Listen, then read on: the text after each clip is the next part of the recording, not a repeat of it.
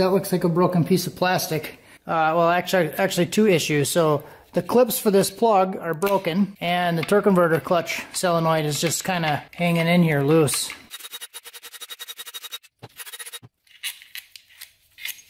We can pull the valve body off. So if you don't put that on, you won't have a lockup. Take the fourth drum out. Pull the direct drum out. Uh, front band. Intermediate clutches. And they actually look pretty good. So if that's still in, you can't get the center support out. Pull the sun shaft out. All right, so it doesn't have the little cup on the back. Reverse band. Just check that.